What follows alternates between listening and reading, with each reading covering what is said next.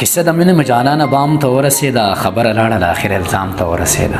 قصه د مینه مجانانه بام ته ورسېده خبره لاړه د اخر الزام ته ورسېده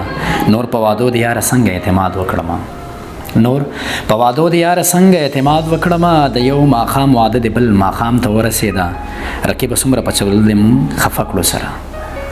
رقیب سمره په چلول د مونږ خپکړو سره سخ وګمین او واستش سلام ته ورسېدا ما درته نویل دیوالونه هم غوګونه لري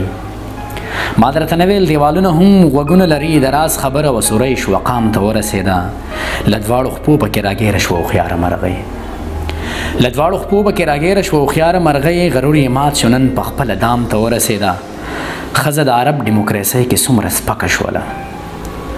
خزه د عرب دیموکراسي کې څومره سپک شوله خزه اسلام کې څومره لوی مقام ته ورسېده هاشم تاجر به د عمر امیدونه تړل